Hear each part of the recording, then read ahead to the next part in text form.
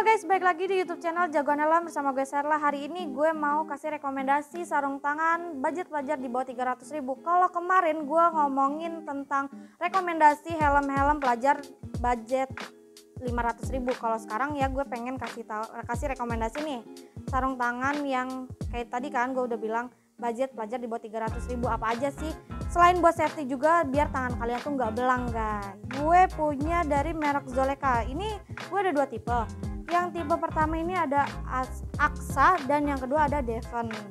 Langsung aja gue bahas ke fiturnya guys. Untuk uh, fitur yang didapat dari Zoleka Aksa ini yang pertama tentunya kalian dapat sarung tangannya ya. Dan dan di sini tuh ada logonya Zoleka dan di bagian punggungnya ini ada bagian eh ada logo Z dan L kalau kalian bisa kelihatan nih kalau kalian bisa lihat. Dan perpaduan warnanya sendiri sih ini warna merah dan hitam. Ada juga yang full black tapi kalian boleh cek di marketplace kita. Nanti ditaruhin linknya di bawah deskripsi ya. Dan untuk bahannya sendiri dia ini spandek guys. Untuk pengikatnya sendiri dia pakainya velcro. Dan di bagian belakangnya ini ada bantalan yang tentunya kalau kalian jatuh ini enggak ini kalian ya telapak kalian jadi enggak gitu. Nggak nggak apa sih? Lecet lecet lah ya gitu guys. Dan yang paling penting sih dia udah touchscreen guys. Guys kalau nggak percaya kita coba. Ya semoga fitur yang didapat bener ya guys. Oh ya ini tampilan kalau gua pakai kurang lebih kayak gini guys. Mari kita coba touchscreennya. Nah guys touchscreen ya. Bisa ternyata. Ini bisa kalian pakai mungkin angkat telepon gitu kan. Bisa. Oke lanjut ke yang kedua. Untuk yang kedua ada Zoleka Devon guys. Di sini warnanya full black ya guys dan yang terpenting sih dia di fitur eh fitur yang didapatnya ini dia ada reflektornya guys di garis panjang ini jadi kalau malam ini kayak ada pantulan-pantulan cahaya gitu guys di sarung tangan kalian dan di sini ada logo Zolekanya juga dia sama reflektor di bagian uh, penguncian pengikatnya juga sama. Dan ini juga velcro ya guys. Bahannya juga sama guys. Kalau Zoleka ini dia spandek. Dan kalau di bagian telapak tangannya sama dia ada bantalannya juga. Cuman bentuknya tadi kan bantalan yang pertama beda tuh. Ada di sini kan kalau yang ini dia bantalannya sampai ke bawah sini. Dan bahannya sih halus sih guys. Ini juga sama bisa touchscreen. Oke mari kita coba. Dan kalau menurut gue sih kalau kalau buat yang ini sih ya sama yang ini ini cocok banget nih buat riding daily. Karena selain bahannya adem ya itu dia fiturnya. Uh, yang kalian dapat itu enak nyaman lembut juga.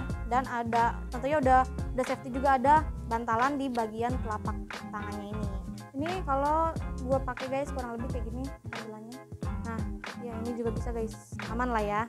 Untuk harganya sendiri Zoleka Aksa dan Devon ini kalau yang Aksa ini kita jual dengan harga 124.960 kalau yang Devon ini 112.750 guys. Gitu worth it lah kalau buat trading kan. Apalagi buat dipakai harian selain dia adem juga udah ada protektor di sininya di bagian uh, apa namanya telapak tangan. Dan juga dia udah touchscreen ya ditambah ada ya pokoknya worth it lah dengan harga 120 124 ribu ini. Lanjut ke sarung tangan berikutnya guys. Gue masih punya rekomendasi sarung tangan lainnya.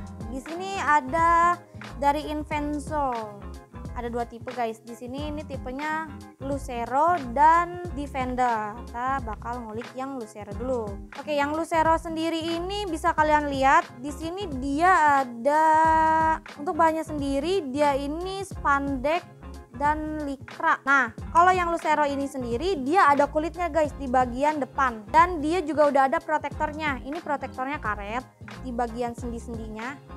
Ya, tentulah kalau udah ada protektornya udah jelas aman banget dong, ya kan? Nah, kita langsung ke bagian belakangnya.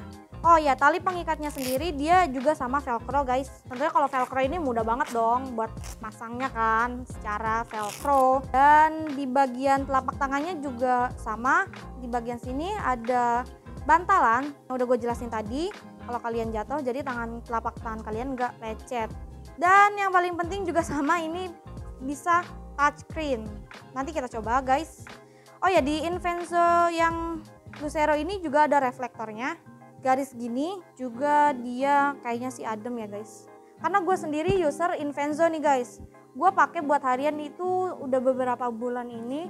Sekitar tiga bulanan deh ya. Ini enak banget sih guys. Nggak pernah kayak nggak pernah keringetan tangan gue. Nyaman-nyaman aja sejauh ini. Gitu guys. Dan oh ya di sini juga dia di bagian ini ada motifnya sedikit guys di bagian telapak tangannya gitu. Coba bagian touchscreennya. Gue mau kasih tahu kalian nih kan di Invenzo sendiri kan mungkin kalian udah ada yang tahu dan mungkin ada yang belum tahu. Ini gunanya apa sih? Nah gue kasih tahu ya. Kalau ini tuh gunanya buat ngancingin guys. Jadi supaya sepasang gitu loh. Jadi biar nggak bececeran sarung tangan kalian. Jadi nggak yang kanan di sebelah mana, yang kiri di sebelah mana gitu, sepasang. Jadi kalau hilang hilang sepasang. Jadi beli lagi. Enggak bercanda sayang. Nah, buat tampilan kalau udah dipakai nih guys kayak gini. Cakep banget kan? Aman ternyata guys. Tuh, aman. Aman banget, aman seaman-amannya. Berfungsi lah ya guys touchscreennya. Oh ya, di sini juga ada motif garis-garisnya gitu guys. Ini timbul.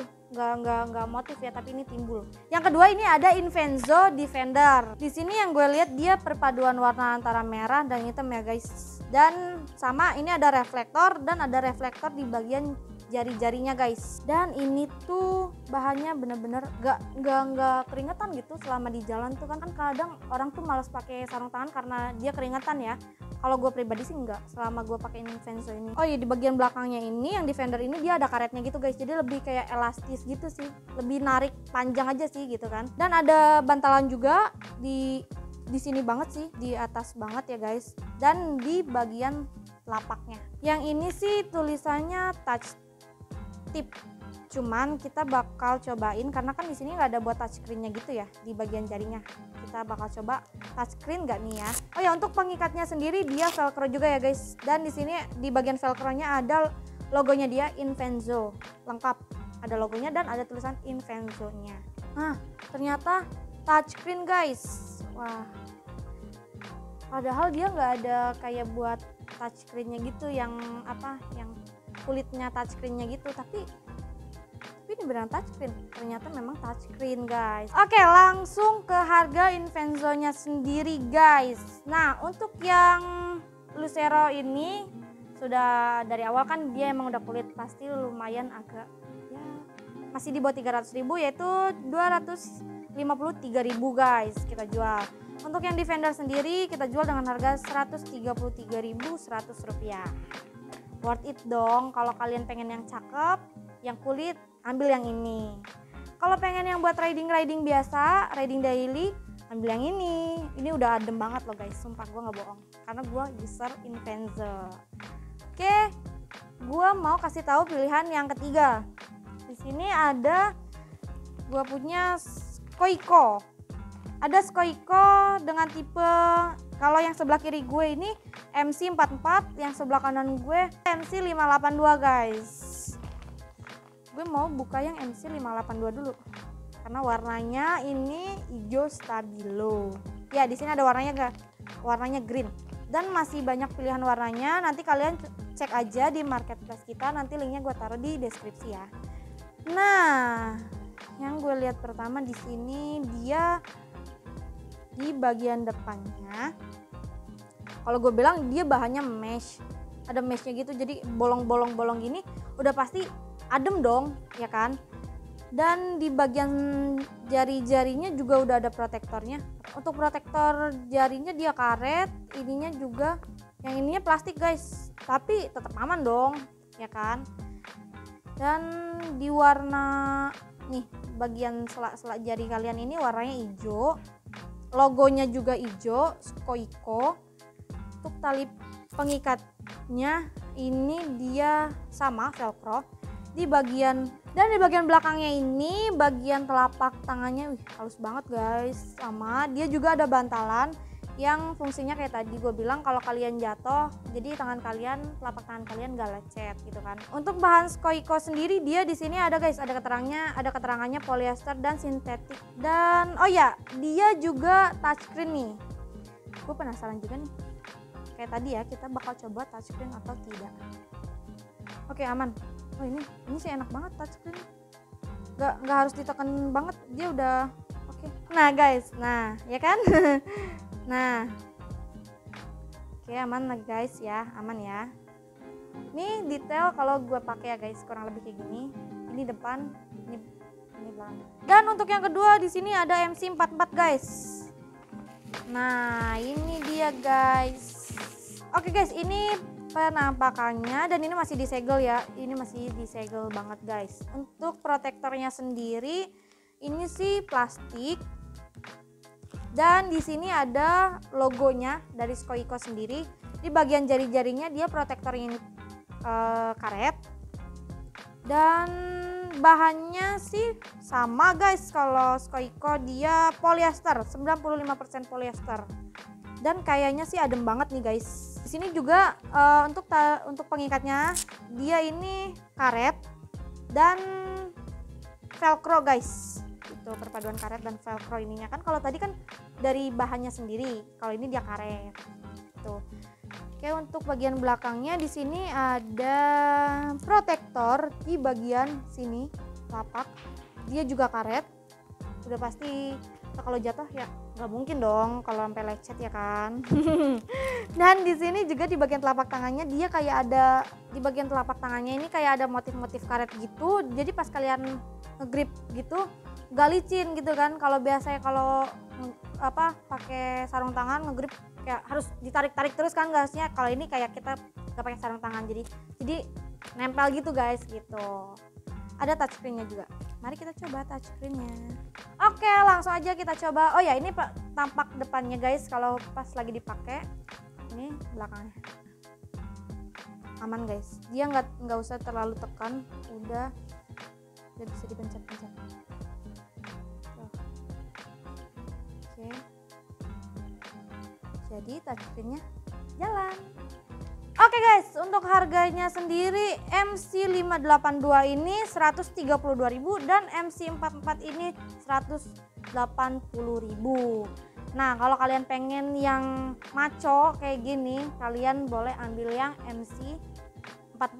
Tapi kalau pengen riding aja biasa daily, udah ini udah paling safety kok.